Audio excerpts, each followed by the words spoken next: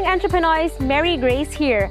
Another wonderful day is up as we will witness the potential of earning through a fungus that can easily be grown and harvested mushrooms.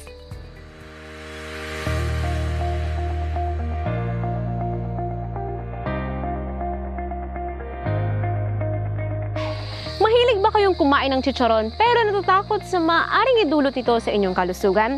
Ay nako, worry no more because our featured entrepreneur introduces a guilt-free chicharon. Yes, you heard it right. A healthier alternative to the traditional pork chicharon is now available for your crackling pleasure, the mushroom chicharon. And right now, I'm here at Jolly's Mushroom Farm, located in Indang, Cavite, at alamin nga natin ang kwento sa likod ng kanilang negosyo. Miss Jasmine Alano Liz, how to be po!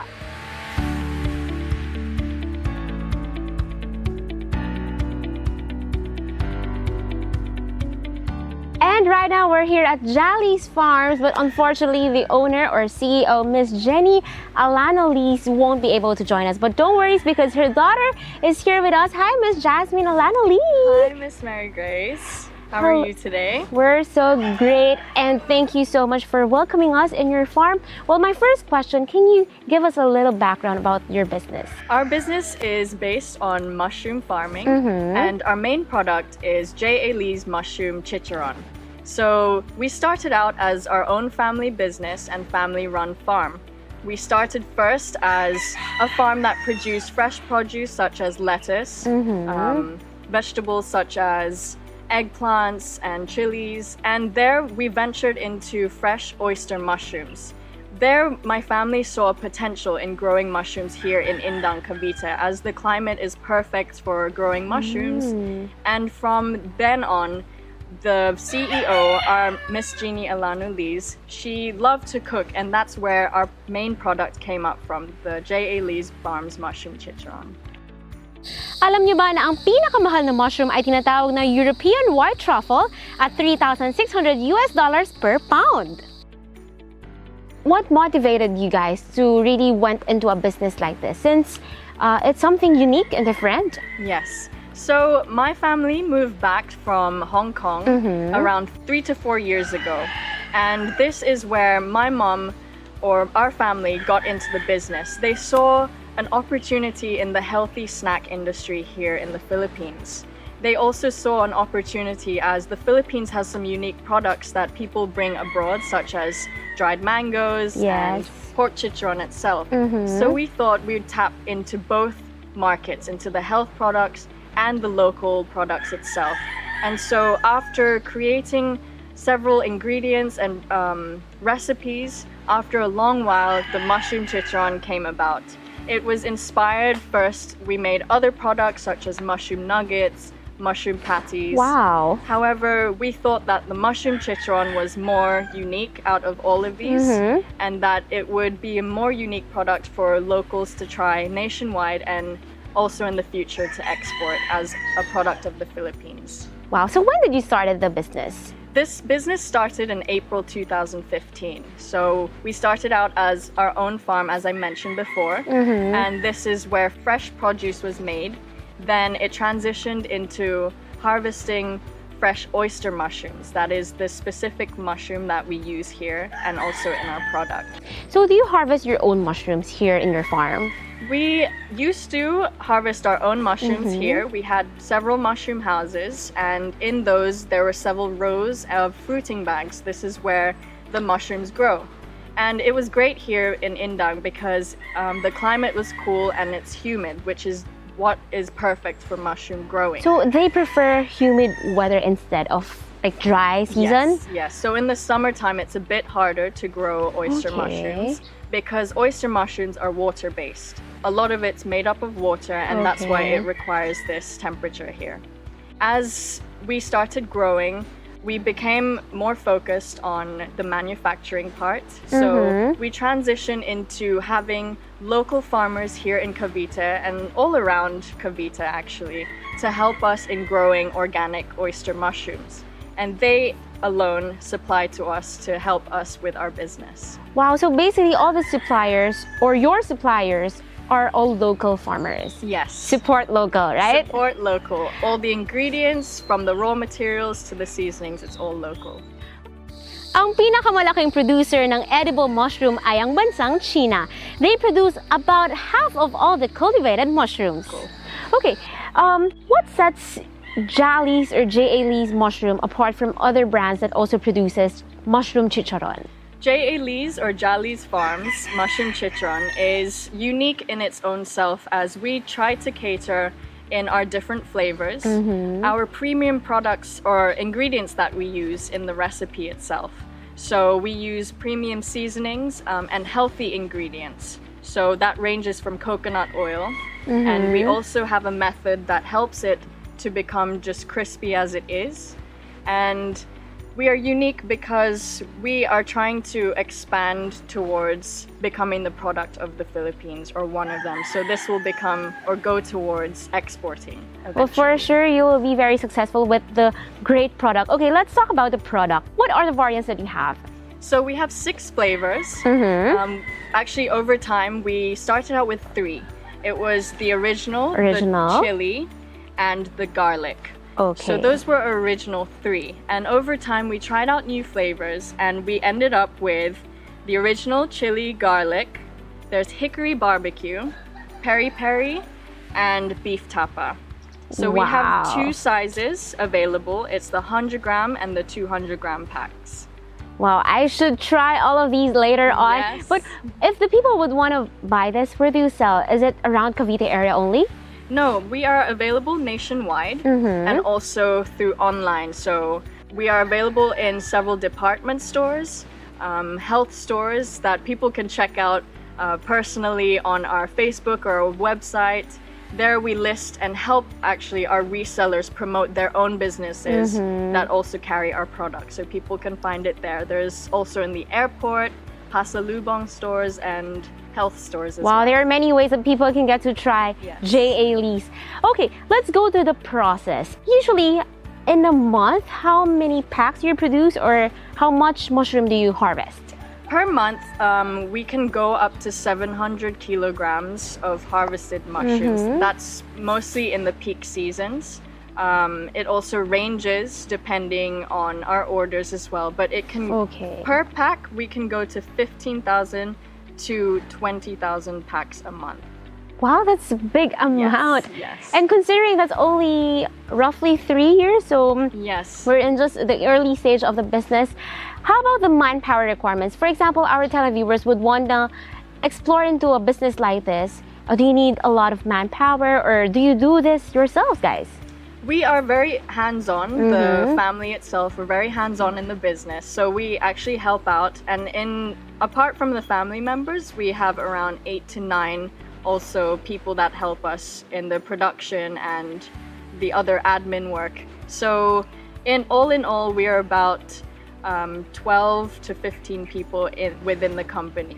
Wow, 12 to 15 people behind such a, you know, uprising brand or product. Ang mushrooms o kabute ay ginagamit sa iba't ibang mga cuisines sa angmang sulok ng mundo. And it is known to be the meat of the vegetable world.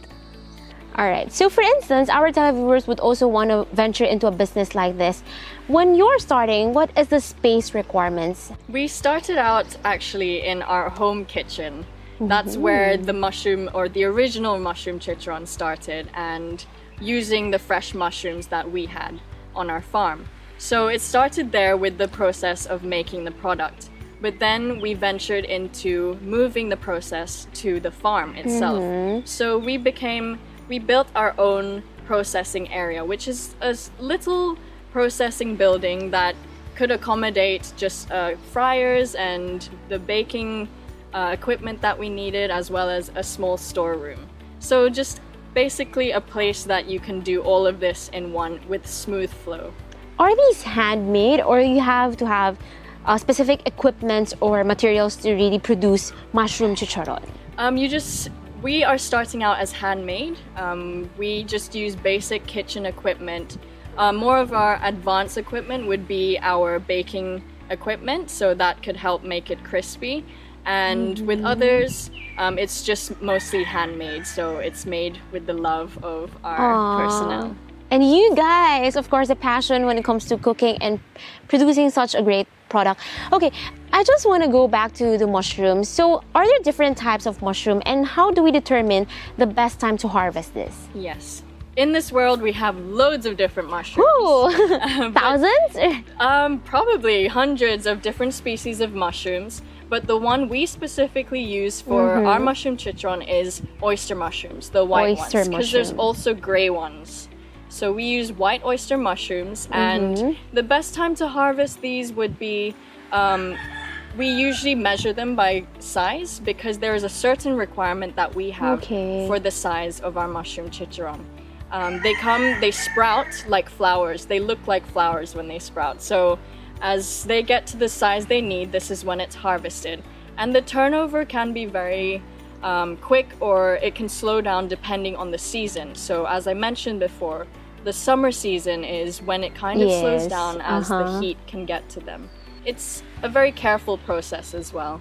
And you also have to be careful of things like pesticides or okay, meron din pala. Yeah. Oo. and also sometimes the mushrooms can be not infected but Mm-hmm. there could be something that could infect the whole mushroom inventory by batch. yeah by batch so you have to be really mindful of it Okay, let's talk about the business season naman. Meron bang season na mas peak, maraming orders, or are there seasons na medyo lean? Um, the best season for us would be the ber months. People are going back home, bringing it as pasalubong, or also giving it as gifts. Um, it's we're going into the health trend now in the Philippines, and so this is where people buy more. They have more time to um, go out and spend more time with family and share these products. So um, more of the ber months and also the early months to after Christmas and New Year. And ano yung mga challenges na na encounter nyo, lalo na when you guys are starting, even up till now that we're already three years in the business, what are the challenges and paano nyo siya na-overcome?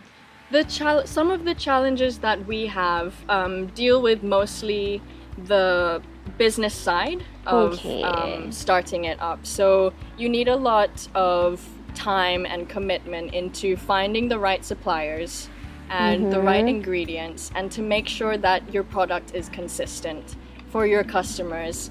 And also the growing part of the fresh oyster mushrooms that can be a bit of a challenge because of the weather and the changes in weather here in the Philippines are unpredictable.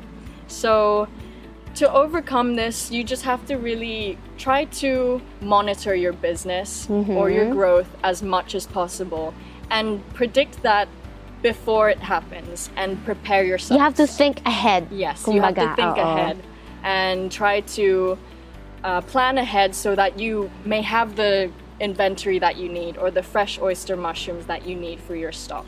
Okay, talking about plants, do you have plans in the future na mag-produce ng ibang products na mushroom-related pa din? Yes, um, we would like to venture into more of um, cooked products. So we've been trying to do mushroom patties. Wow, I would love to try that. Yes. Napaka-healthy naman. It is. And Oo. the thing about mushrooms, or oyster mushrooms specifically, Mm-hmm. is that it tastes just like meat. The texture okay. and the flavor itself can absorb. And so it is a really good alternative to meat. To pork, beef, and chicken? Mushrooms are fungus. At di tulad ng mga halaman, di nila kailangan ng sinag ng araw to produce their energy. Earlier, you have mentioned about exporting. What are your future plans? Not only to the product line, but to the business as a whole. We are actually in the process right now of trying to export our products. Uh, we have been able to send our products abroad to places like the US, um, to the Middle East, um, in Australia, and also here around Asia. We've tried as well. However, it's not officially our exporting side of our business. So right now we're venturing into exporting to the US. So we have um, an expo in Canada at the moment. Wow! Yes, and we've also So Miss Jeannie's there. yeah, she's there at the moment. So she will be advertising and marketing to the Canadian population, and they are getting really good feedback at the moment. So, Congratulations for that. you. Thank you. Also, I want to know how do you improve? Because earlier you have mentioned DTI or something. Like, Yes. if they're having a hard time to really go into the business, saan sila pwedeng humingi ng tulong like you guys did? I would highly recommend um, contacting people or um, government sectors here in the Philippines. They are willing to help. So we've Wow. actually had customers ask, how can they start growing mushrooms? And we refer them to the Department of Agriculture. Okay. They can help in you starting up or recommending places for you to start up your business in agriculture especially. Mm-hmm. And also the dti recently have approached us in helping us produce or develop our products. So as you can see our new packaging now this oh, just started in february this year Feb, it's very new, huh? Yes, it's very new. They designed it for us, and it is very. It has like an export quality with the matte printing. I totally agree. they give a lot of help and advice to us. And the design is very sleek and it's good for exporting. Well, how about the shelf life pala? Hindi natin na-mention kanina. Uh, the shelf life is at the moment 6 months. However, we are in the process of trying to develop a longer shelf life for our product so that it can last longer for customers, of course. It's always good to eat fresh produce. So actually, our produce is made fresh per order. If a client or a customer orders from us, then we make it fresh for them. If you can try the original with um, Okay. vinegar or suka, Suka. Yeah, Yes. suka. so that would be great with the vinegar. It's just like pork chicharron except healthier. And we can also, um, it's great if you put it in the oven for a few minutes. It makes it crispier.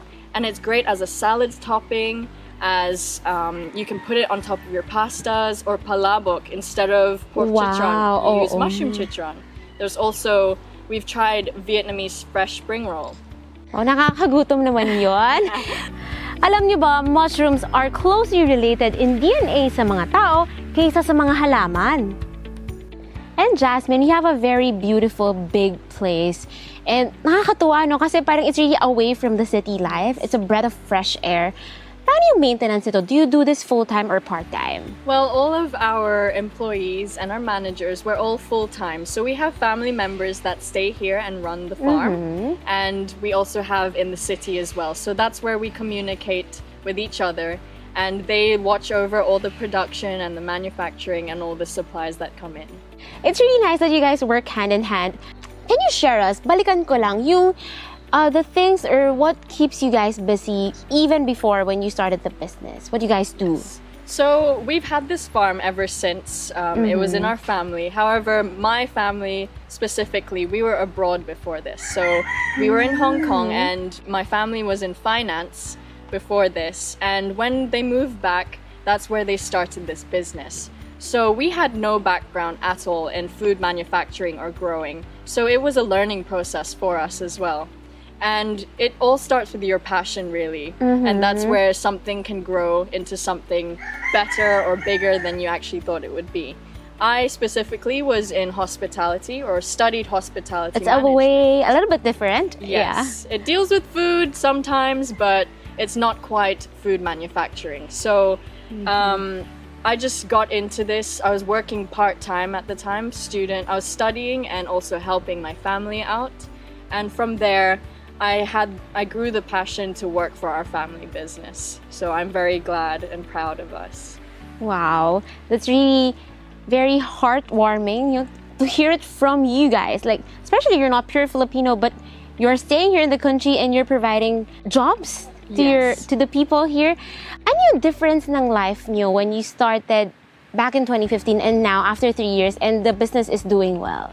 Um, we see more growth in our business, and this not only happens with the business side, but with also helping the local uh, people of Cavite and also outside. As we also go into bazaars, we need salespeople for that, and it really just starts with a team. So having a team and treating them as a family. That's where it all starts. So it really you create this bond with the people that you work with and there you establish the trust that you need and so life from then uh, it was just our own family to now we have a team. Um, we just get to know people and the um, surrounding lifestyle of other people and just we adapt to each other and learn from each other. It's a bigger family and you're making a difference to your lives as Yes. well. Yung puhunan, when you started, around, can you give us a ballpark figure? Around how Um, much do you need? Yes, so just the production side of it, starting in your own kitchen, you just need the capital maybe uh, more or less 5,000 pesos Oh. to produce this product in your own kitchen. But um, venturing forward, when you start in bazaars, that they also have rental costs. So that Okay, can yes. range depending on your location. It can range from 3,000 up till 10,000. And that's it's a good investment to make because that's where you can market your products. So, kumbaga, dun ka nagsistart, dun ka nagpapakilala Yes. to the market that you really want to go for. It's it's like a niche market ba, yung tinatarget nyo? Yes, uh, we mostly target um, more of the health product or the health junkies. Um, we also have the elderly as well as children who also love the snack. So anyone who wants to go into healthy eating really could um, invest or buy our products. And from there, we also, like bazaars, also give us a chance to market to people who are potential customers or clients that are willing to resell for us. So we also establish relationships with our resellers and our partners. So uh, we help each other. It's a big community here in the Philippines. Well, I'm looking forward to 5, 10, 15 more years after. So, for sure, this will be way bigger after how many years? So, um, do you have any tips to everyone out there that would want to venture in a business like this one? To start your own business or to venture into something that you would like to do as a business, I recommend starting with your passion. I read in a book recently that this is where people start, their passion becomes what they love. But you also have to keep in mind that it's not what you want, but you also have to think of what the customer would want based on your own products or passion that you give as a good or service. So, um, with a bit of passion and teamwork and also just a lot of time and commitment, you can start your own business, even just from the smallest resources that you have.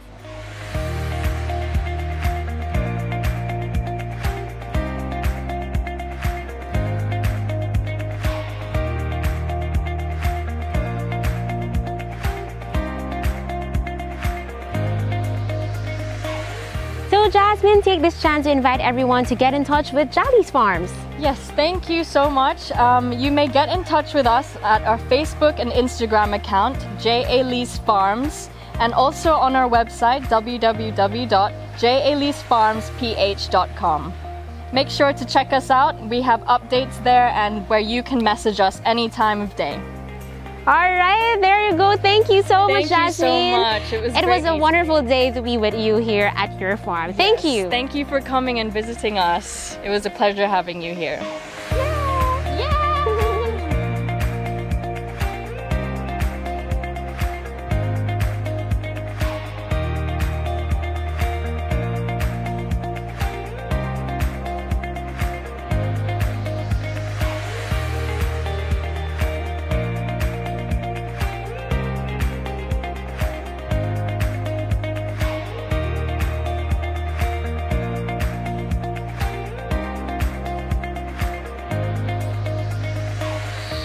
Say, venturing into the healthy food industry is definitely a good decision.